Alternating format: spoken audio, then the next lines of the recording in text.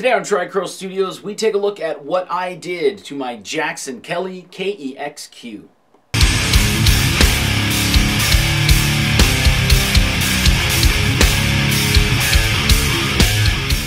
So here we go, one of the most, uh, not talked about, but most questions that I actually get on a guitar, uh, which is the Jackson Kelly KEXQ. So the KE is for Kelly, X is for the X series, so it has the um, the uh, neck through and it's a gloss finish next neck and the Q is for quilted uh, maple top which I don't think is a veneer because it would look a little more uniform um, to be a veneer but who knows yeah, so this is also the most updated or upgraded guitar I think I have. Uh, probably not by a lot, but in my mind it is.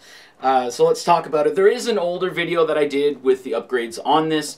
Uh, however, I didn't do the Floyd or the tuners at that point, and uh, things were up in the air on what I was going to do. So, let's start off with the pickups. I know this is a Marty Friedman style guitar, and I put the Kirk Hammett Bone Breakers in here, but I have another Jackson Kelly that I do have the Marty Friedmans in, so boom. EMG Bone Breakers. And I decided also, because I was a little scared at the time to do uh, soldering, I decided to uh, also make this a completely solderless system. So I spent the extra for an EMG three-way toggle switch and the uh, EMG, not the TKO, but the um, the toggle kill switch. So again, solderless. Now, a lot of people have asked me uh, specifically about the three-way toggle switch um, from EMG. Would I do that again? Uh, I think the answer is no. For the simple fact that I have a couple of these in my uh, guitars, and I've received three DOA from EMG. They're very good about it. Um, they say, oh, you know what, that does happen, and they ship it out to you right away, um, and you don't have to return the old one which is nice because it sucks if you have to ship something from Canada to the U.S. Um, and then wait. So that's very nice of them to do. However, uh, it really sucks when you get something that's DOA and you have to put something on hold because of that. Uh, and a lot of people have asked also what, what I would do if I didn't get this. I would just use the original that came with it. Uh, for the simple fact that it is still plug and play. You have to strip the end of the wires and then you plug it in and screw it into the EMG like little system thing that comes with it. So, and I had to do a little bit of routing to actually get the three-way toggle switch in. I had to drill into the body for the uh, toggle kill switch. And that was a little bit of a pain, so I would not do this again, especially on this guitar. It would save me a little bit of headache. Uh, next up would be the stuff that a lot of people have been asking about from this guitar lately, which is the Floyd Rose upgrade. Yes, I did the Floyd Rose. It's the 1000 series, so it's not the Floyd Rose original. Um, I think it's a... So the 1000, 2000, and 3000, those are just color separations. So I think this is the 2000? I don't know. It's whatever's gold. Uh, so it's like silver, black, and gold. So 1000, 2000, 3000. I don't know which one is which. Doesn't matter. You just order whatever color you want. Uh, so I did do that. It is a direct swap. I swapped out the studs and everything. I didn't really have to do the like little uh, mounts on the inside. The studs actually fit in perfectly and haven't had any problems. Super easy to stay in tune um, and no problems whatsoever. Then the uh, nut that comes with it is an R3, which is very lucky because that is the nut that actually comes with the, um, the Jackson X Series Kelly. Very cool. And the last thing I did, because I was really annoyed uh, because these were silver chrome or nickel or whatever it is. Uh, so the tuners that actually came with it, and because it's a double locking system, I don't really, I feel like I'm wasting my money if I uh, install Sperzels or anything like that. So I actually took the uh, Jackson gold tuners off of a, a, Rhoads that I had that I did put Sperzels on and I put them on here. So everything is gold except for the toggle switch and really I don't care about it that much. Uh, the guitar plays still absolutely amazingly well. Um, with the new Floyd it stays in tune and I don't have any weird issues with the tremolo arm. Very good, very happy and uh, let's get a little happier plug into the VHT Pittbull Ultra Lead and uh, get some sounds and some different angles of this guitar.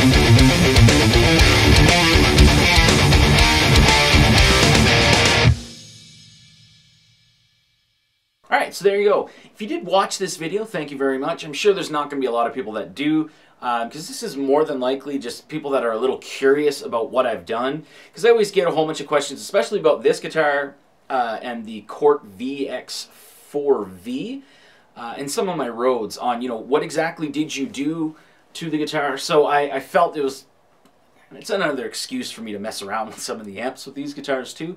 Uh, but I, I, did want to do uh, updates for all the guitars that I've done upgrades on. So you'll probably be seeing a whole bunch of these videos. Um, I'll probably make a little playlist as well called just like what I did or what I did to my. Um, and yeah, thanks for watching. Hope you enjoyed it and hope it gave you a couple of ideas on what you could do. Uh, if you do have any questions about uh, maybe if you're stuck, you have this guitar, um, if you have any questions on what I did, uh, or how you can do it, just go ahead and leave me a comment down below. And we love trying to get back to everybody and try to get you the best answer. Thanks for watching.